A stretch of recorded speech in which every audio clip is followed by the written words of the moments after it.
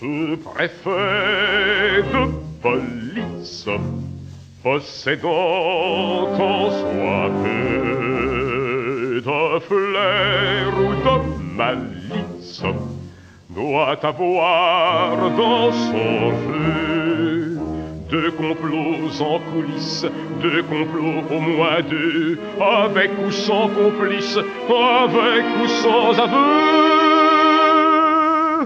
Pour à l'instant propice, arrêter qui l'on veut.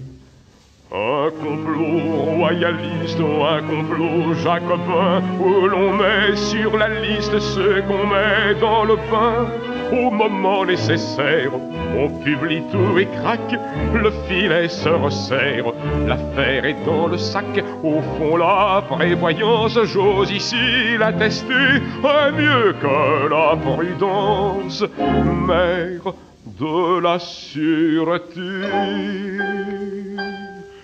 tout préfet de police doit, s'il veut être craint, être fin comme Ulysse et plus fort que Mandrin. Il lui faut de l'astuce, il lui faut du doigté, et sans Dieu comme Argus, ce mouchard réputé. Il lui faut même en plus de la lucidité. Et sans qu'il, sans qu'il ose, le nez, l'oreille au vent, il faut toujours qu'il ose pour aller de l'avant. Et bouclant pour la forme, cinq ou six factieux, il instruit, il informe, et tout est pour le mieux.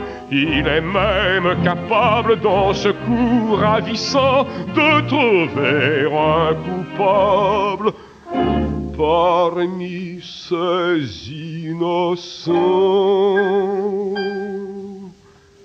Tout préfet de police, possédant en soi peu de flair ou de malice, doit avoir dans son jeu deux complots en coulisses, deux complots au moins deux, avec ou sans complice, avec ou sans aveu.